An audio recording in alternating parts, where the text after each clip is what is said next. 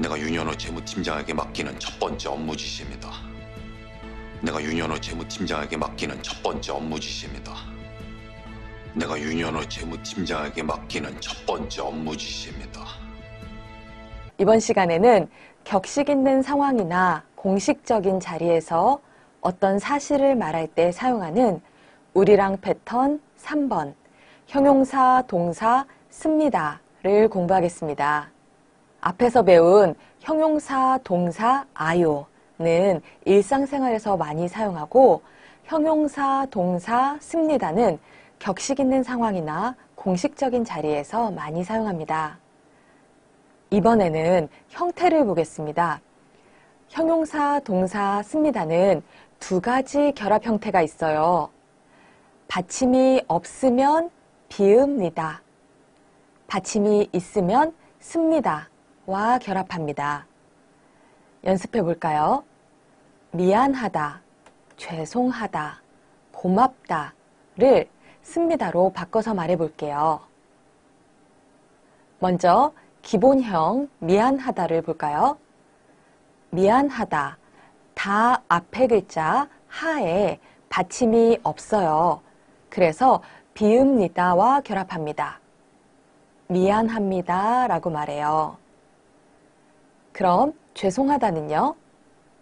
마찬가지로 죄송합니다 라고 말합니다.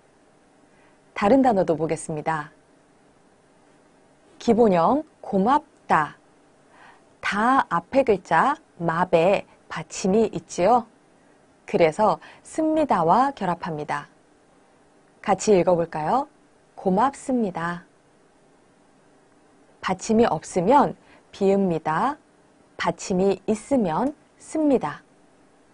이렇게 말하면 듣는 사람이 조금 더 공손하다고 느껴요. 잘 활용하실 수 있겠죠? 그럼 사랑해요는 어떻게 말할까요? 맞습니다. 사랑합니다. 라고 말해요. 다른 문장도 연습해 볼까요? 이 문장들을 모두 씁니다로 만들어 보세요. 도로에 차가 많다. 도로에 차가 많습니다. 밖에 비가 오다. 밖에 비가 옵니다. 라면이 너무 맵다. 라면이 너무 맵습니다.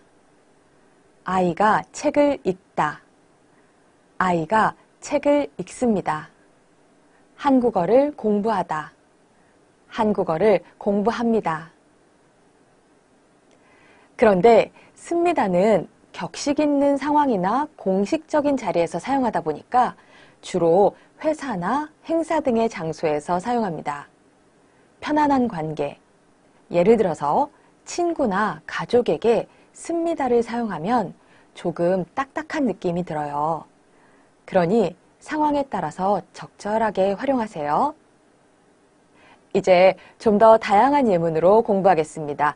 두 번씩 따라서 읽어보세요.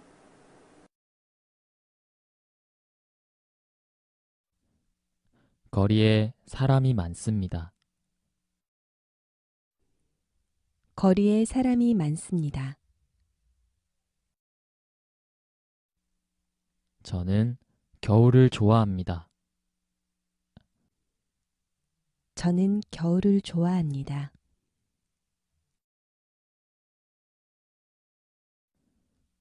저는 미국 사람입니다. 저는 미국 사람입니다. 내가 윤현호 재무팀장에게 맡기는 첫 번째 업무 지시입니다. 잘 부탁해요, 윤 팀장.